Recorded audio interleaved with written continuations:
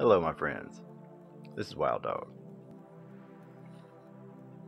Now, you've seen these once in your life, I bet.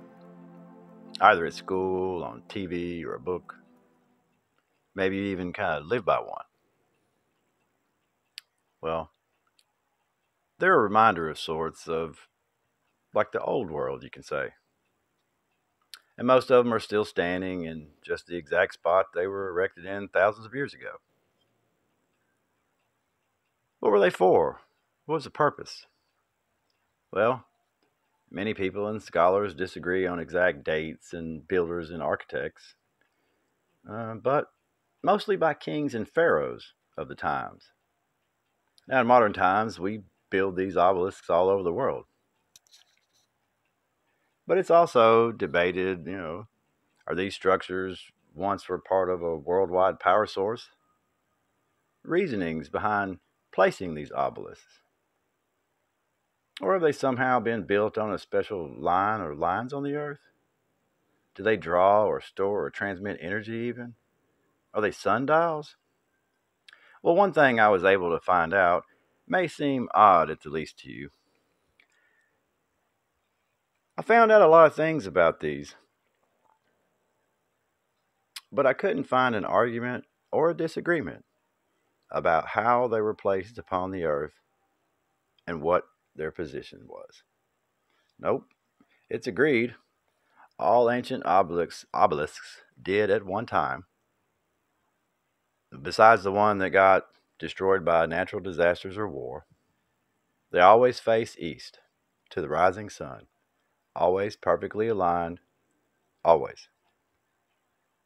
Now, many feats of our known history have been boasted to us in books and taught to us in cities and countries. Their greatest achievements were 400 ton solid granite obelisks traveling thousands of miles across oceans and deserts to be blissfully erected as monuments or, or, or gifts to kings and countries. Religions sought after them. Seeming over the centuries, these obelisks were sought after. They weren't destroyed. They were reconstructed, is what I found, not deconstructed. Now that's just odd, right? Well, I mean, it's actually, that's just crazy, right? Because they're not even that pretty. A big giant pole in the middle of town, I mean, it always needs a big, huge real estate to just exist. But yep, it's still there.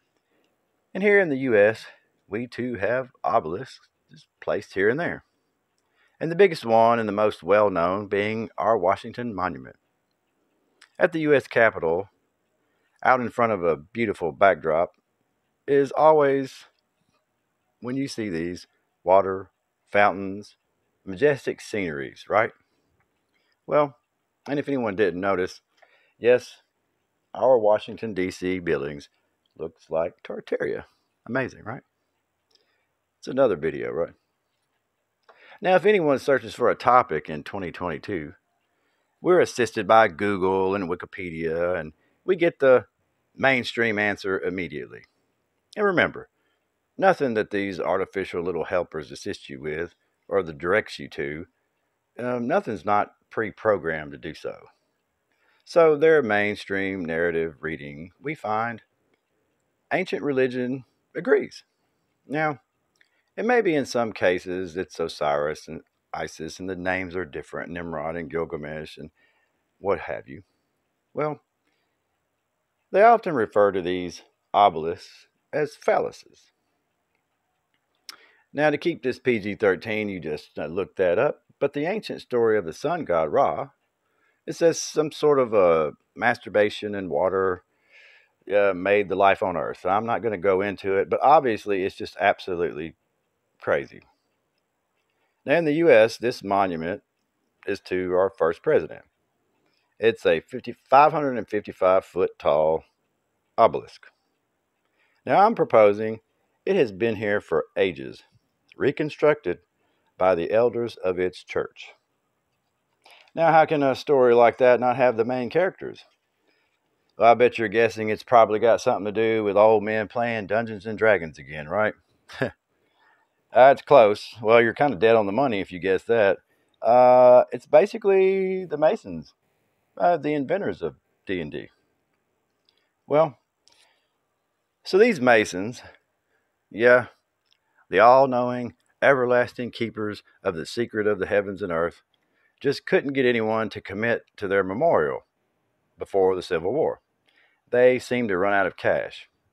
And remember, this is before NASA and friends, so there was no slush fund.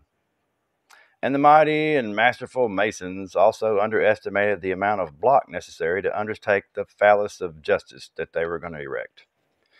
Due to the fact that the flood had laid layers of brittle granite and stone, you know, being all powerful, they had to just make do with the rocks from a nearby quarry in Massachusetts because of the brittleness. Now, during the Civil War, and there's always that one guy, right? You know, someone who just comes right through for everybody, right? A true hero. Well, he sketched this drawing of the mighty obelisk in all its glory, where it was to be a memorial for a great leader. Here we see the farmhouse and all the beef for the soldiers. Yep, he gave us the beefy half phallus picture. Sorry, couldn't resist. So it's a field, right? It's just it's a field, and right up against a barn or house or whatever that is uh, sits a old janky rock, right? It's protected by cows and a three foot fence, right? Okay. Well, here's the obelisk in its alleged first stage, right? And if you look at the base, you know, the structure itself, the edges, the weathering, right? But mostly the rocks making up the base. Now, these appear to my eyes to serve a dual purpose wants to be a platform. I guess they're going to put the berm up there, whatever. Or two is the steps to the door that I see. Um, but the steps, they seem to be two and a half to three feet tall, um, matching kind of the height to the door to scale. Now, when searching, you can find out when they built these structures in ancient Egypt involving God's name Osiris, Isis, and so on. It has a creation story behind it. It involves odd explanations of masturbation and dual sexuality beings or transvestites and weird frog people or what have you. Well, and uh, it reminded me of the scripture about, and I saw three unclean spirits look like frogs. That's not what this is about. Moving on. Ra, being their big dog god, the ray of the sun, sun disk, their god is the first to wake up, I guess, in more ways than one, we understand. Um, the many temples to Nimrod, Gilgamesh, Osiris, Isis, all of Ishtar, uh, there's even a god in Asia. It's a, a, sun god of some kind. It's a dragon god. But all who worship these sun gods, no matter where they are in the world, they share one thing in common. They place their pagan altars upon the earth and aligning their temples and graven images to the rising sun still to this day. Now, most are blind to see what's happening. They're too caught up in this world to care about fantasies and fairy tales, right? They poke fun at someone bringing up such silliness. Oh no, it's 66633 again, and they make fun of it. Well, I'll tell you what. This old country boy from Mississippi is not the only one who sees what's going on here, right? See, I always see if my grandfathers left me a video or something.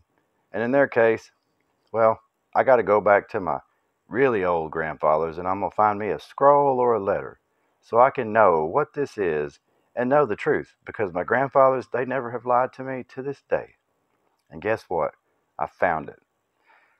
I sure did. And you know what? It was easy. First, let me tell you what I found, and then I'm going to tell you what they said. What I found was this that the sun somehow moves around the face of the earth and in the morning, wherever you are, it appears to arrive just for you. Then in the afternoon, traveling thousands of miles across the sky, it appears to leave you by yourself, with just only the stars to take over all the light from there. Now, all of the other gods and the graven images reside under the feet of the Most High God. And that's what I found. And I'll leave you with what our grandfathers said and the warnings and where they told us what this was for. And I love you all. According to National Park Service, inscribed on the aluminum cap, notable names and dates in the monument's construction are recalled, and on the east face, facing the rising sun, the Latin words Laus Deo, which translate to Praise be to God.